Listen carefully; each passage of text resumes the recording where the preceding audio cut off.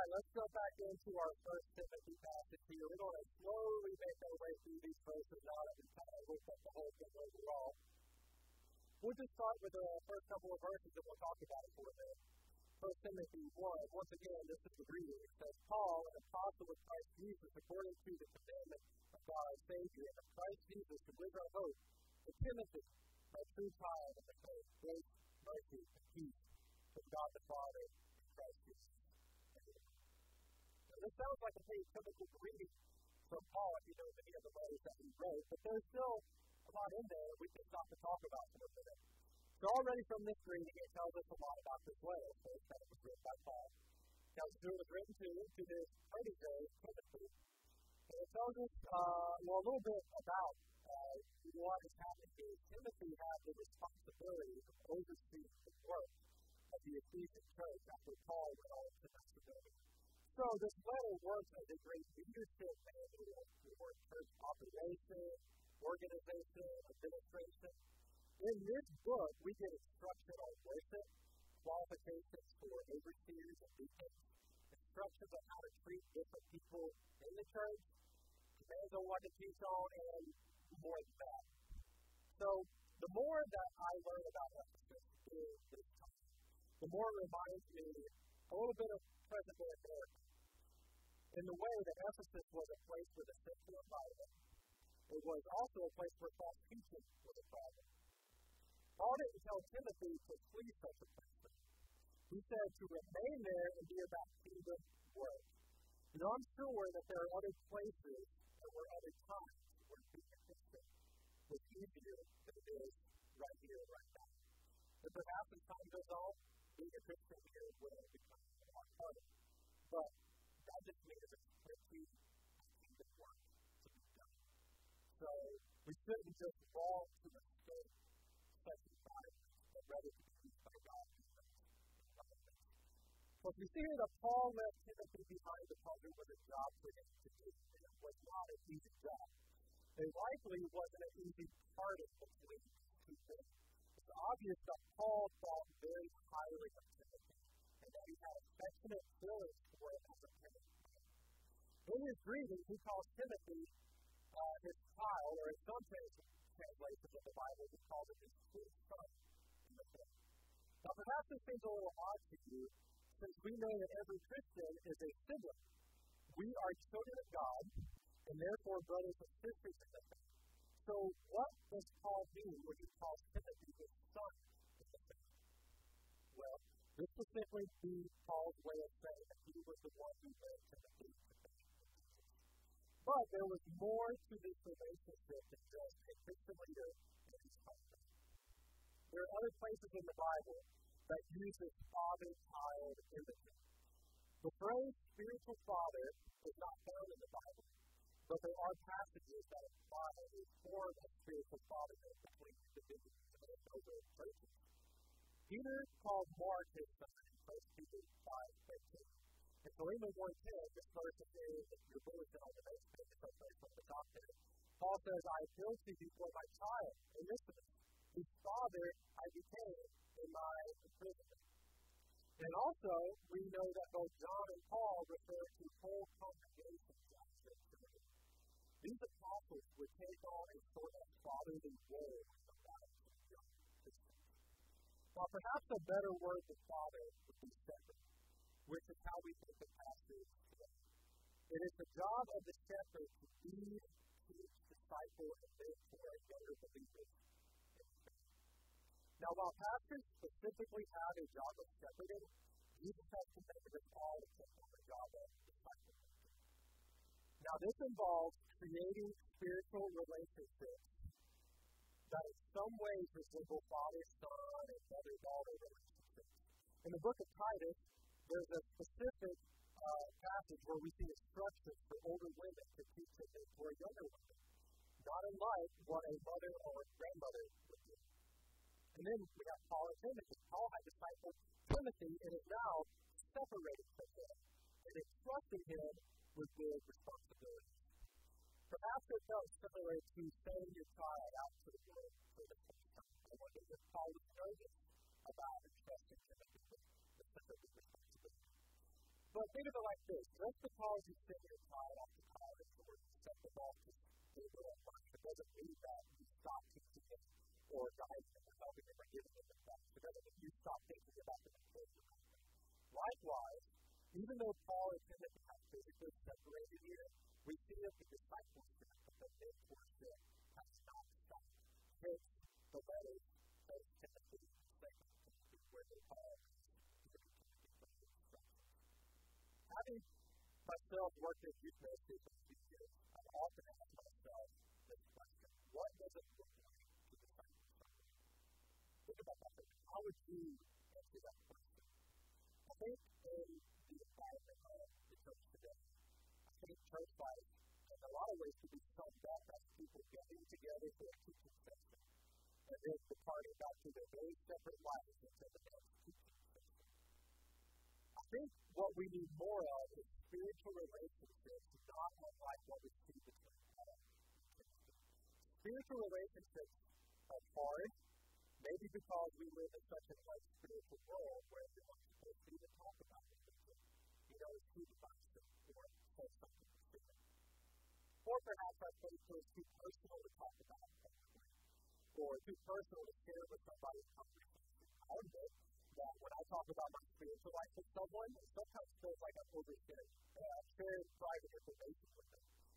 You our faith is a very personal thing, but it isn't meant to be kept private. There's too much in Scripture about sharing our faith to believe it's okay to be quiet about it, to never talk about it. God has given all of us a testimony, and we're to share it. Why? We're hopeful for His work, for them to use that to impact others.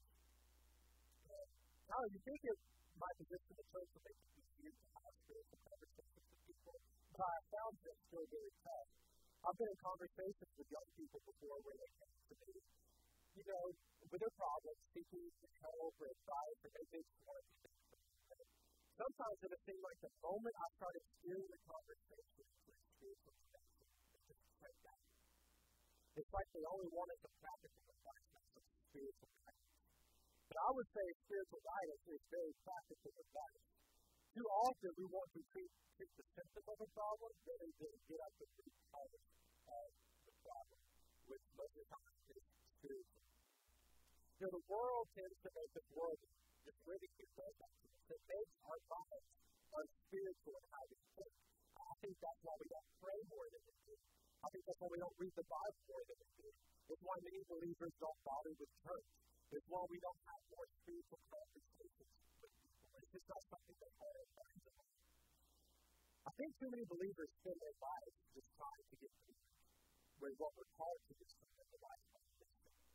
Let me ask you this question. Do you think spiritual conversations were hard for Paul to life? I would say no, and the reason I say that is because they lived with such purpose. They lived knowing they were on a mission. Think about it. It would be crazy for people on a mission to never talk about the mission that they're together. So if, if our conversations are never spiritual, it could be a sign that our lives are rarely so some people might feel like they're, they're doing pretty good because they sometimes talk about God when they're in church on Sunday. But if we're living like on mission every single day and talking about spiritual things that are how often do you have spiritual conversations with those friends, with your children, with your spouse, your parents, your friends, or even with strangers that you encounter when you're out and about? Now, I've recently realized that my kids are at an age where I need to start praying with them and not just for them because they're watching. I started talking to him and for them about God. He's got some pretty great questions that I don't know how to answer to a 40 year. But she's smart. But what does it say to a child or to anyone when we never talk about spiritual things? Really, it says that it's not very important. It's not very relevant to never talk about these things.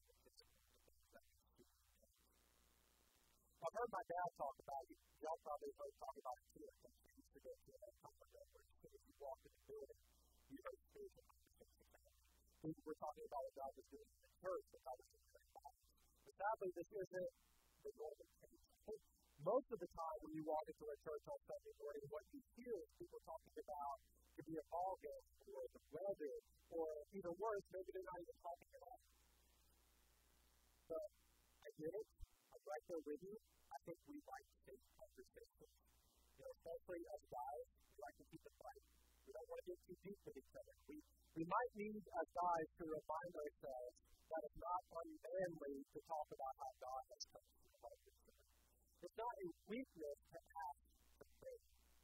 There are a lot of young men out there that need spiritual audits And I think it might be true that these younger generations talk. I think what they like is deeper, really, conversations. So that means we shouldn't be to have these conversations with them. I think if you went to someone and tried to have a spiritual conversation, I don't think you would get rejected nearly as often as you do because they're like, they're not afraid of this. They want to talk about this stuff. Before we move on to this passage, I'd like to take a look at another passage while studying these places in the district. If you look back in your bulletin, it's from Matthew 23. We see here that Jesus is instructing a crowd against using certain titles like father teacher with titles. Let's read that, Matthew 23, 20. Jesus is that you are not to be called rabbi if you have one teacher. You are all brothers. And do not call anyone on earth father, for you have one father who is in heaven. Nor are you to be called instructors, you have one instructor, the Messiah. The greatest among you will be your servant, and those who exalt themselves will be humbled, and those who humble themselves will be exalted. That's kind of a tough passage for you to get out of context.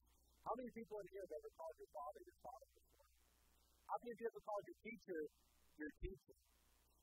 So does this, what Jesus is teaching here, does it, does it mean that Paul said whatever he called Timothy is just something that's been when he called himself a father to or to the Corinthian church congregation? So was he disobeying Jesus' command to, to not use titles for the Let's get into it. For starters, how does he call asking to be called father? He calls himself a father to some, but at another place, he also calls himself the chief saint. And that doesn't mean he wants others to refer to him as chief saint. So nowhere are any of the apostles addressed father by them. That's going to happen, right? Think about uh, in the Catholic Church. What do they call priests? Father.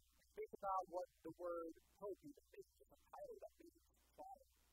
You know, the Bible doesn't tell us to do that. It actually warns against doing that. So, you know, I've wondered before, I, I don't know if y'all know, know my dad doesn't like to be called. Anytime it happens, it just seems like it uncomfortable. And I asked about it one time, and he says it's because of this passage in Matthew 23 of Jesus that warning against religious titles like that. Why does Jesus warn us about that? Because there is often pride that comes with titles. It's not unlikely that someone with a high religious title might believe they are above. In Matthew 23, Jesus makes it, makes it clear that all Christians are brothers. Right? We are equal. When we get more context in Matthew 23, it becomes clear what Jesus is teaching regarding to religious.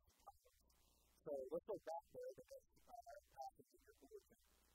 He's speaking here of the scribes and Pharisees in verses 5 to 7, which is right before I can them addressing them. He says, Everything they do is done for people to see. They make their phylacteries wide and their tassels on the garments long. They love the place of honor at banquets and the most important seats in the synagogue. They love to be greeted with respect in the marketplaces and to be called rabbi by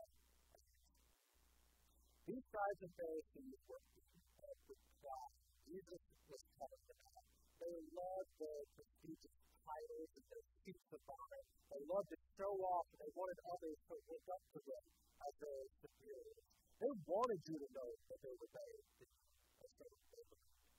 So Jesus warns this crowd not to be guilty of the sin of the self-righteous, egotistical hypocrites.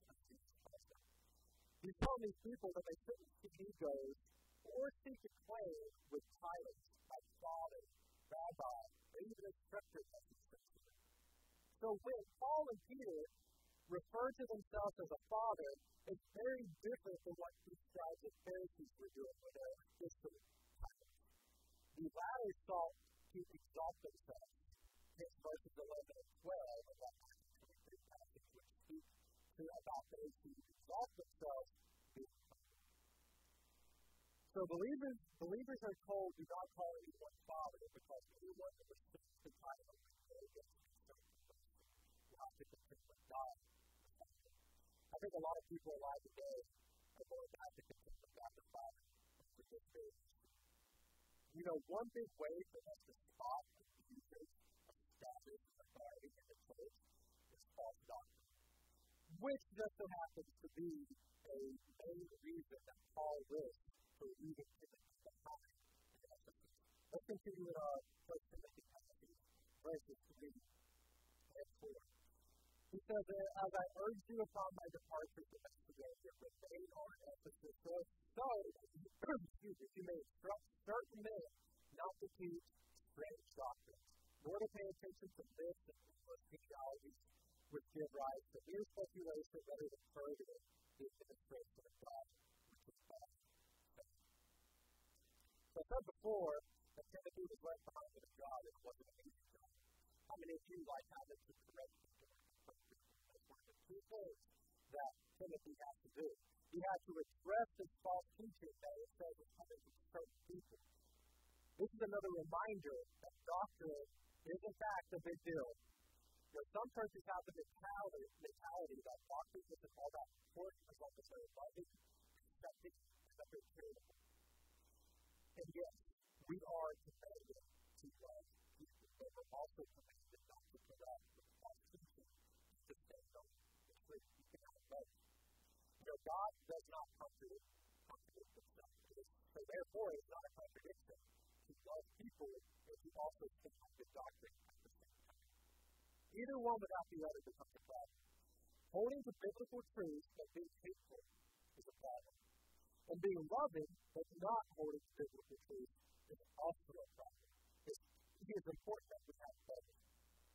So Paul left, left the Ephesian Christians with a particular set of teachings which he had received from Jesus in the New Testament. And he was concerned that Timothy did everything he could to make sure the Ephesians continue in that doctrine. You this modern world struggles in this area because they love to They love to be progressive. They love change and different and whatever is new and pushes boundaries. So when we give them the consistent Word of God, and they realize how old it is, how unchanging it is, they see it as outdated and problematic. You know, if it's not changing with the times, they don't want it. But it's crazy to them that while the world around us continues to progress in technology, health, information, and many other areas, we hold firm to teachings that don't or evolve over time. I can't make sense of that. But the only thing solution to realize that we want to wrote the scriptures and it being because it's outside of Christ itself. Look at Psalm 90, verse 4. It says here, it says, for a thousand years in your sight are like yesterday when it passes by. Or as the waters God sees all of eternity's past and eternity's future. And we can't even see five minutes from now. We don't even know if our work is going to be. But we think that we've got a better way for today's time than what God has written and us. So Paul is telling Timothy to tell the church in Ephesus to stick with the teachings of the given. Likewise, the message for the church today is fit with the teachings that God has given us. God wrote them all the time in His time. Albert Mohler, he said this. Uh, not to quote the this is say about teachings that have Christian culture that contrary to the teaching of Scripture. He said, New thought is back. But really, there are no new heresies. Only heresies dressed up and repackaged for a new generation. So new and innovative thinking isn't so new and innovative after all. So let's with is is fact that the Lord is better than chapter 4, verse 6, the the But the Word of God long past whatever these or This passage in 1 Timothy gives us some insight into this apologetic teaching that Timothy is. What does Paul say? He refers to the teaching as this and endless reality. Some believe that this is referred to the Apocrypha, which was a common culprit of confusing teaching in the early church. We also get the sense that this problem of devotion to myths and genealogies is like a silly distraction. There's a saying we've all heard keep the main thing the main thing. That's right. So I'm not saying by that that we shouldn't be dig deep into God's word and not give conversations But we also shouldn't become like conspiracy theorists and wild speculations that serve no purpose but to keep us distracted from the real world. We should be about, as the verses say, we should be about what promotes God's word and sanctification. The next verse tells us the uh, this command. We look back to verses 5 through 7. But the goal of our instruction is love, love of your heart, and a good conscience,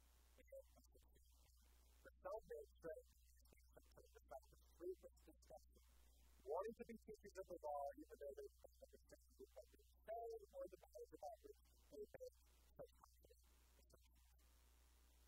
What does knowledge tend to do? What does the Bible say? It has a tendency to puff up. But spending time in God's Word does not produce laws from a pure heart, a good conscience, or sincere faithfulness that something is wrong. Legalism make us twist God's You know, people can know about the content of the Bible and still not. They can use the Bible in a way that promotes themselves, like the the Some may approach the Bible for political or entertainment purposes, but we should approach the Word of God as we do the Word of Once again, verse 5 says the goal of this command is love, this principle to the heart of the. Verse 6 tells us that somehow the target of this command talk. And when we stop and think about it, I think there's a lot of people's talk that's coming from today. I think there's a lot that's coming more from today than coming from God's word in a lot of cases. So verse 5 gives, gives us a good model a good teacher bringing a good word. We can see three sort of tests. So let's look at them. First, that the teaching should come from love and a pure heart. So it's when the teacher's motivation is right. Their intentions are pure they genuinely desire to say the truth for the benefit of the. They're not seeking self-glorification or popularity or whatever else one might achieve through preaching and teaching with wrong motives. Second the teaching needs to come from a good conscience. A good conscience seeks to show Christ and further the kingdom. Use and abuse. It's aware of the true purpose. And then thirdly, good teaching must be accompanied by sincere faith. Sincere faith refers to a genuine faith. And also, we should be by faith. So the false teachers that Paul is warning about the things. He they don't even know what they're talking about or what they say confidently.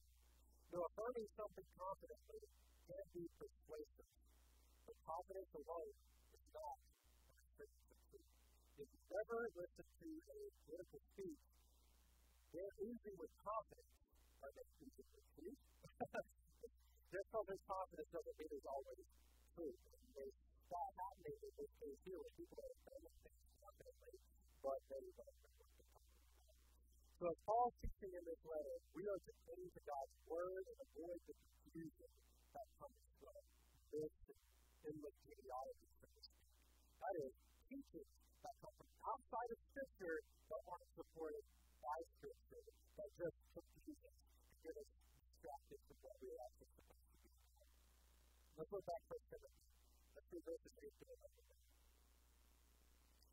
But we know that the law is good if one uses it lawfully. Another translation would say properly. Realizing the fact that law is not made for a righteous person, but for those who are lawless and rebellious, for the ungodly, For the unholy perspective, those who kill their fathers and mothers, the murderers, moral men, homosexuals, and kidnappers, and buyers and prisoners, and whatever else is contrary to salvation, according to the glorious gospel Christ God with, with which I have been entrusted. All right, what do we get here? We get quite a list of things. What is Paul's purpose in listing all of those things here in this passage?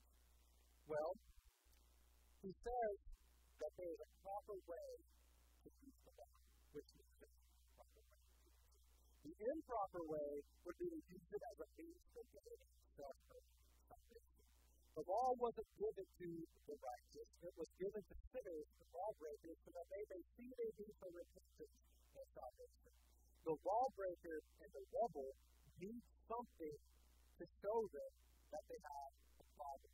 Just like sometimes we need a doctor to tell us we have a problem. So how many times has the Word of God shown you or us that we were wrong about something? This is what it does.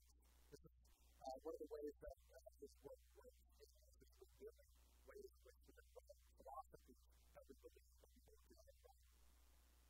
But it's easy to read this list of convicted but Paul didn't write this passage, passage so we would have a list of people to judge and to study. He wrote it because people were improperly teaching the law, which was given so that those who follow this list might be pointed to Jesus. That's why it's so important to hold to the veracity of the Bible. There are believers who think they can reach more lost if they the you know, people are so prone to thinking they're better than God, such as where they have to they have better methods to. I guess they're scared that the law might scare lost people away when it's actually the law that sends people running to Jesus. It tells us which thing So in this passage, we see connection being made between sound doctrine and bad. So why would you get rid of sound doctrine? Right? Or what would you do? Yeah, open it with proof that. The simple actions described in verses 9 and 10 are contrary to sound doctrine. I think some people are afraid that clinging to sound doctrine about what is right, about what is wrong, might make them seem like a weakness. I saw a great quote that speaks to this. I think you're doing it. It says, Many people will condemn anyone with standards, especially high standards, as being a legalist. Having standards and keeping them does not make us legalists, but obedience doesn't legalists. We are legalists when we think what we do is what makes us right before God. So I would say don't be sorry for your high standards are not standards. And you hold them them properly. Just be careful not to be like the Pharisees who read about in Matthew 23, who we know like to make rules force of other people to make expressions that were making them hypocrites. Listen to verses 12 through 17. I'll say this first to the passage. He says, I thank Christ Jesus our Lord, who has strengthened me, because he considered me faithful for the king's service. Even though I was formerly a blasphemer and persecuted and I was but I was shown mercy because I acted in your faith for the grace of our Lord was more than abundant with the faith and love which are in. It is a trustworthy statement, deserving full acceptance that Christ Jesus came into the world to save sinners, whom I am foremost above. Yet for this reason I felt mercy, so that in me, as the foremost, Jesus Christ might demonstrate his perfect patience as an example for those who will believe in him this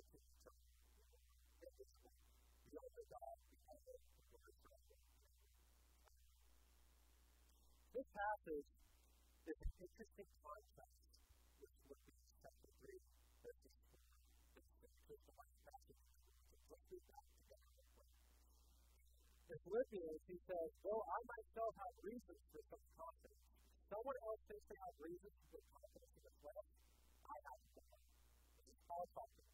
And he talked about why he could be someone having a life consciousness. He says, reconcile on his of the people of Israel at the time of the Hebrew of Hebrews regard to the law, Pharisees, as perceived, persecuted, betrayed, as righteousness, based on the law, faultless.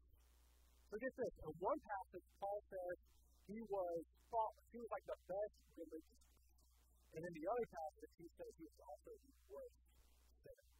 Isn't that crazy to think about? You can be the best religious person, seemingly doing all the right things, but at the same time be the worst.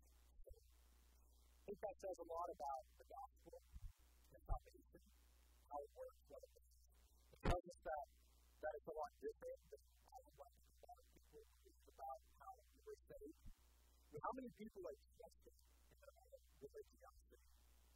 And on the other side of that, how many people think that people are saved We all see it maybe sometimes. People say, it's too late for me.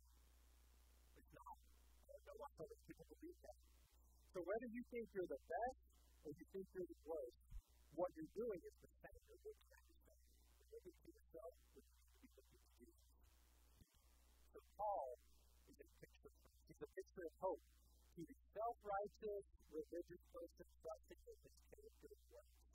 And to the sinner who thinks they can't be saved because they're too depraved. Either one of these people can be saved.